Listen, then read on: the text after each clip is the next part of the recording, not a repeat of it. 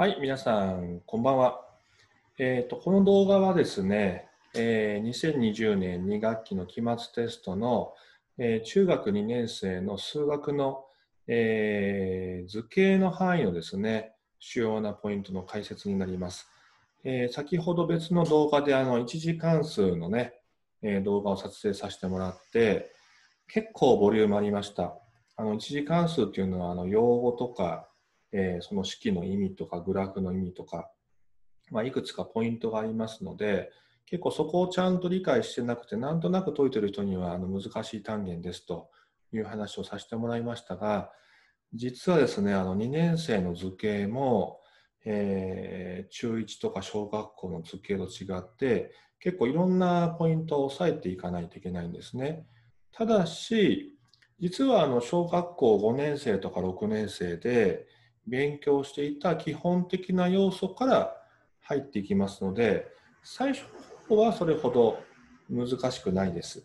ただし途中からだんだんレベルが上がっていって、えー、と今回の期末テストにはどの学校もほとんど、えー、範囲としては入りませんでしたけど、この後3学期にですね、おそらくやるであろう、えー、図形の証明問題。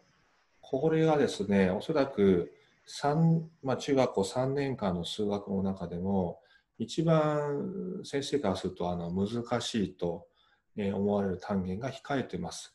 ですから今回の範囲はそれほど難しくありませんので、なんとか、え食らいついて、図形が嫌いだという人も食らいついて頑張ってほしいと思います。で、あの一次関数と同じなんですけど、基本的な用語の意味をちゃんと理解する。あとは自分で図形を書くことですね。これをやらない人はね、やっぱりなかなか知識が、あの、インプットがね、定着しない人が多いです。頭の中だけで解くんじゃなくて、指先で解く、まあ、要は指先で書くとですね。指先で書いて、目で見て、確認する、理解する。そういったいろんな確認のプロセスを入れて初めて理解が定着しますので、必ず、えー、作図の方もしてもらいたいと思います。それではよろしくお願いいたします。はい、じゃあね、えー、っとまず最初に少し資料を共有していきたいと思うんですが、えー、っとこれはですね、あの小学校5年生の時に基本的なルールを実はあの勉強してます。ただし、小学校の時算数嫌いだったよという人は、結構あの目に手を当てて言ったわけじゃないんですけど、覚えてない人が多いので、もう一度おさらいをしていきましょう。はい。えー、っとね、ちょっとペンを入れていきたいと思います。はい、赤い字で入れて、赤いペンで入れていきます。はい、多角形の内角と外角ですね。内角っていうのは、あの、内側の角。外角っていうのは、まあ、外側の角というふうに思ってもらったいです。で、内角についてはね、あの、わからない人はほぼほぼいないんですけど、外角は意外とどの位置が外角なのというふうに迷う人が結構多いですね。はい。先生も中学生の時にあの実はそうでした。はい。ちょっと読んでいきましょう。右の図のよう、えー、角度、まあ、角ですね。BAP、B、A、P ですか、ここですね。角 BAP のように、多角形の一つの辺と、一つの辺と、その隣の辺の延長。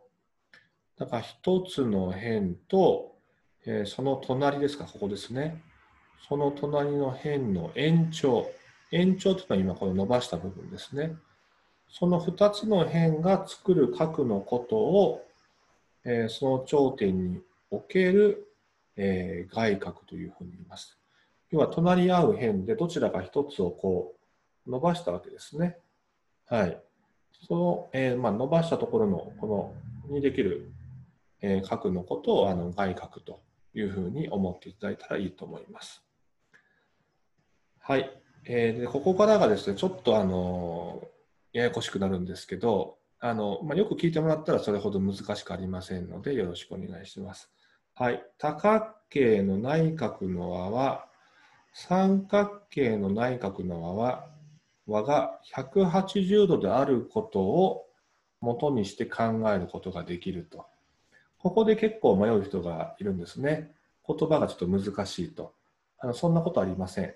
えーと、もう少し要約して言うと、多角形、要は四角形とか五角形とか六角形なんですけど、その中に要は三角形が何個入るかを、えー、計算することができるんですね。その数がと、えー、三角形の内角180度をかけると。もう一回言いますけど、三角形の数と、えー、180度をかけると、その多角形の内角の和になるということを言ってるわけですね。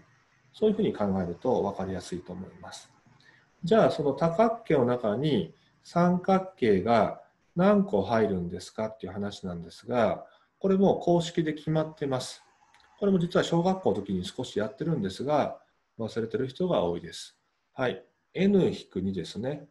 この n っていうのは、要は多角形です。例えば、七角形であれば、7-2で5と。180度の三角形が5個入ってるよと。ですから、180×5 の900度というのが、その多角形の内角の和になると。ですから、七角形の場合は900度というのは内角の和になるということですね。五角形であれば5-2、六角形であれば6-2、えー、十角形だったら10-2ということで三角形の数が求めることができます。この引く2というのはもう決まってます。はい。それだけ覚えてもらえれば簡単に多角形の内角の和が求められますので、おそらくあのこの範囲が定期テストに入っている学校の定期テストでは1問か2問そういったものが出ますけど、あの掛け算だけきちっと筆算で正しくやってもらえれば間違うことはほぼないというふうに思います。はい。で、この下ですね。はい。今内あの、内角の話をしましたけど、今度は多角形の外角の、えー、合計です。はい。これはですね、もう覚えてください。多角形の外角の和はあの360度というふうに決まってます。これ五角形でも六角形でも三角形でも四角形でも八角形でも十二角形でも何角形だろうが360度です。ですから例えば正六角形の場合は外角の大きさは全部正ですから同じなので360割る6というふうにしてれば、まあ、60ですね。ですから正六角形の一つの外角は60度ということが求めることができます。で大体あの外角の和を求めるときはこの360から分かっている外角の角度を引くとか今みたいに正多角形の場合は360割るその多角形の、ま、数ですねで割れば一つの外角を求めることがあのできるということになりますのでそれほど難しく考える必要はございません。はい、ではこの資料はこれで、えー、終了します。では次の資料ですね。はい、少々お待ちください。はい、で次の資料がですね、えー、いしょ。ちょっと苦手にしてる人があの多いかなというふうに思います。はい、資料を共有していきます。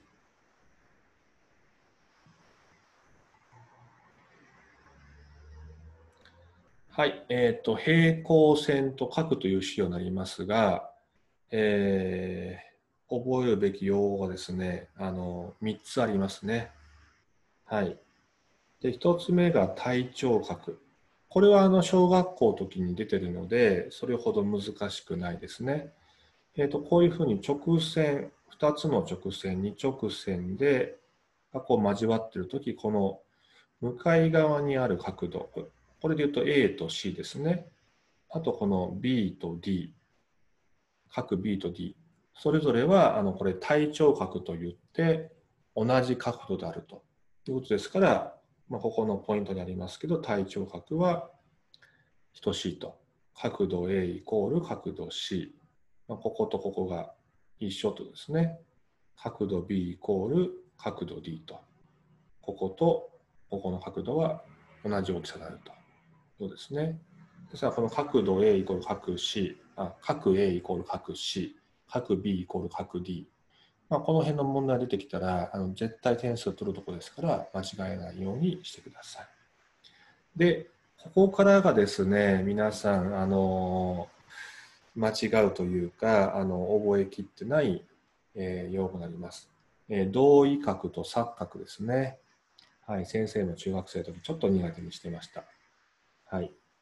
じゃあ、同位角の説明からいきましょう。えー、右の図のように、二直線 L と M、これですね、L と M に直線 N が交わってると。はい、ここが直線 N ですね。これが交わってできる角のうち、いいですか？この L と M があって、そこに N という直線が交わってると。ここでできる角度、角がね、いっぱいあるわけですけど、えー、一個ずつ見ていきましょう。角 A と角 E。はい、場所を確認しましょう。この角 A と角 E ですね。えっと、こう二直線あって、えっと、この L の外側からこの直線をまたいで、こっち側。えっと、ここにあるのが、えー、同位角と言います。はい、B と F。B ここですね。はい、これも1本だけまたぎます。ですから、同位角の特徴っていうのは、あの必ず1本またぐとですね。はい、角 F と。えー、角 C と角 G。はい、ここから1本またぎますと。はい、角 D と角 H。はい、角 D からここの線ですね、1本だけ、えー、またぎますと。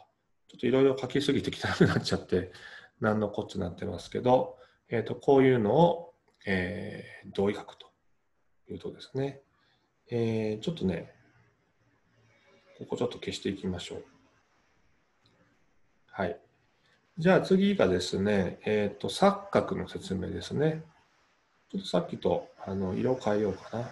今度緑で書きますね。はい、錯角。はい。またですね、ここから角 B と角 H。はい。角 B と角 H、ここですね。こういうふうに S の字を描いて、反対側にまたぐ角なります。S の字を書いて反対側にまたぐと。これを錯角というふうに言います。錯角、これ漢字覚えてくださいね。あの、金編なんですけど、違う字書く人結構多いですからね。はい。で、角 C と角 E。はい。角 C と、はい。S の反対ですかな。えー、書いてまたぎます。角 E。こういった位置関係のことをあの錯角と言います。はい。それでですね、ここがポイントなんですが、えっ、ー、と、二直線に一つの直線が交わるとき、この、まあ、さっきの L と M ですね。これが平行関係にあるときは、えっ、と、これ、あの、同位角であったり、この A と B ですね。あと、この、えー、錯角 A と C というのは、えー、同じ大きさになるということです。で2番、これは逆にこの、えー、角度 A と B または角度 A と C 要は同位角と錯角が同じであればこの二直線が平行であるということがあの逆説的に言えます。これ結構今回の定期テスト解くときの基本的な問題知識として、え、重要なポイントなので理解をしてください。あの、錯角同位角苦手な人も、あの、今説明した動画を何回か見返してもらって、問題解いていけば、絶対できるようになりますので、えー、諦めずにちょっと頑張ってみてほしいと思います。じゃちょっとこの、えー、対頂角、同位角、錯角については、えー、資料の方を終了したいと思います。で、図形は今日はあと一つだけですね。はい、えっ、ー、と、三角形の、えー、角という資料を共有して、えー、今日は終わりになります。えっ、ー、と、テスト範囲が、あの、ちょっと長めに出てる学校も大体、えー、この辺りまでが、えー、出題範囲のようですね。はい。じゃあちょっと先生もね、あの疲れてきたんですけど、最後までなんとか頑張ってやっていきたいと思います。はい。じゃあこれもちょっとね、えー、やっていきましょう。えー、ペンの色はですね、ちょっと青に変えてみましょうかね。